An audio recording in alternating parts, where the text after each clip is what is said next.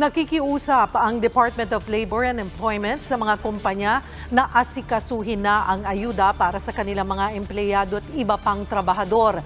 Yan ay sa gitna ng no work, no pay policy ng ilang kumpanya sa gitna ng enhanced community quarantine. Nagbabalita si Jenny Dongon.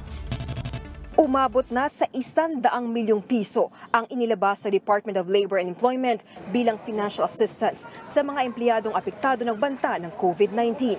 Ayon kay Labor Secretary Sylvester Bello III, inaasahan ngayong Abril ang isa hanggang dalawang bilyong pisong pondo mula sa Department of Budget and Management para sa ayuda sa mga manggagawa. Pero ang call center agent na si Elgin wala pa raw natatanggap na ayuda. Hindi pa rin daw kasi gumagawa ng hakbang ang kanyang kumpanya para makakuha ang mga empleyado nito ng 5,000 pesos mula sa COVID-19 Adjustment Measures Program o CAMP ng DOLE. Gusto kong i-avail yung dole na camp.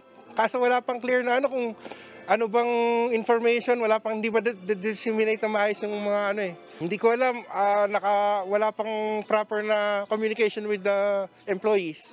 Kung anong kailangan requirements, kung ano, hindi, hindi nila basta may, may explain ng maayos per employee kung anong dapat na gawin. Ayon sa labor group na Defend Shell Philippines, nasa 16,500 na empleyado na mula sa NCR ang nagreklamo sa kanila kaugnay ng hindi pag-asikaso ng ilang kumpanya sa requirements na hinihingi ng dole. Ang main problem is yung employers saka yung mga companies, ah, hindi sila nag-apply.